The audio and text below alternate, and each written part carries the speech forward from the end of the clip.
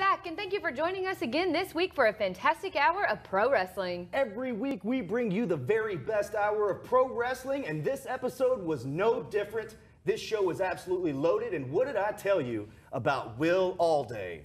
Adrian Quest stepped up to the plate, but Will Allday retain his championship in stunning fashion. Mm -hmm. Despite to capture another championship, Adrian Quest has proven time and time again that he is one of the best kept secrets in pro wrestling. Back and forth, high flying and exciting. That match had it all, and I agree about young Fuego Adrian Quest. He's fantastic. Thank you again for joining us and make sure you tune in next week. Ray Rosas, Dan Joseph, and Vermin will all be in action. Plus, Royce Isaacs will defend his United TV title against none other than his opponent from the Red Carpet Rumble, Bateman.